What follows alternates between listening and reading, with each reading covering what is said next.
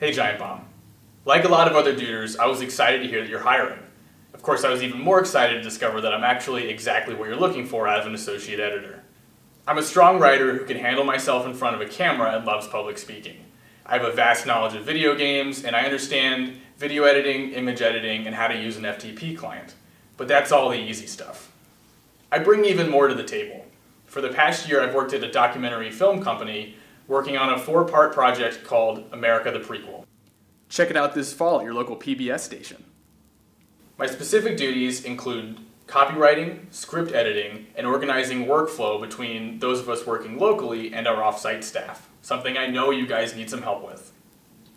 On this project alone, I've worked on 25 interviews and dozens more location shoots, so I know my way around a film set. Prior to that, I worked at GameStop for four years. Yeah, I know it's the worst. When the only way you can sleep at night is reminding yourself that you're the least annoying person in the store, it's probably time to find a new job.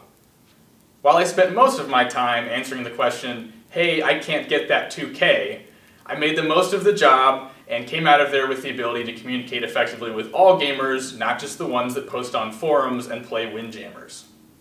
I've also been in the Army Reserve since 2010, working in logistics and public affairs. This means I'm no stranger to travel, I understand how to work as a team, and take constructive criticism, or as usually is the case in the Army, non-constructive criticism. Since the writing I do with my current job has nothing to do with games, I wrote a few relevant articles this week for you to get a feel for my writing style. You can check them out on my blog at hainesington.com.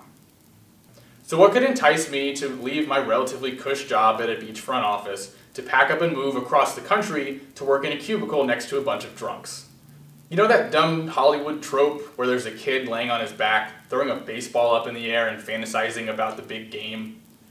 Well, as tacky as it sounds, writing reviews, recording videos, sweating in the trenches of E3 is that dumb trope for me.